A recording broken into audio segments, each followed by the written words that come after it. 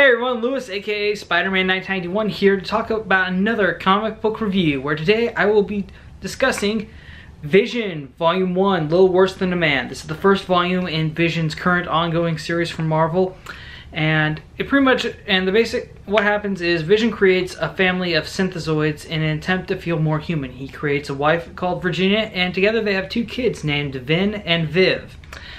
The Vision family moves to Arlington, Virginia, where Vision works as works as a liaison to the White as the Avengers liaison to the White House.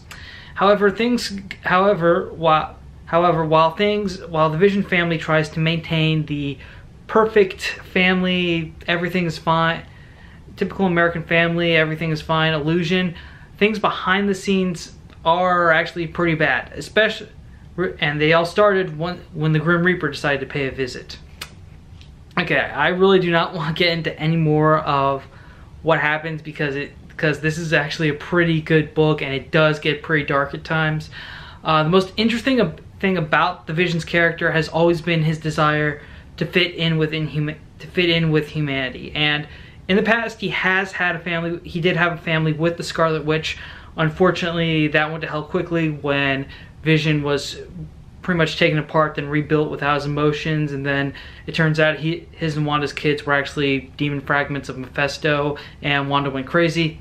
Uh, uh, moving on, but now he's now he's pretty much built his own family, but this time he's just but this time his entire family is based off of him, him and his brainwaves.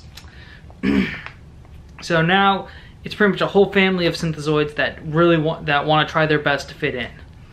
And whenever bad things get too much for the visions, they have they end up lying and covering them up in order to in order to help keep up their illusion of a happy American family. I also enjoyed how the series, the entire series though, it is narrated by someone who who isn't with who, outside the Vision family and prophesizes that the Vision will do whatever it takes to keep his family safe and maintain and keep them safe and make sure that they're happy and ultimately that's going to end and, he, and he's going to do that even if it means destroying the entire world. So, so I really don't want to get much into detail because this is a really amazing book without really spoiling anything. Um, it, it actually is a very good series. Um, I was gonna, the first I did read the first issue when it came out, and it was pretty interesting, but I didn't get the series ongoing because I was getting enough comics as it is, as it was, and I really think that anyone who likes the Vision Vision character will enjoy this series, and also it does. Also, people who enjoy who enjoy who enjoy television series with a bit of mystery, or like when things get pretty dark for a typical family, or if they enjoy something like Breaking Bad, then they're definitely going to enjoy this series. So overall, if you like the Vision, if you like good internal drama, then I would say definitely check this out.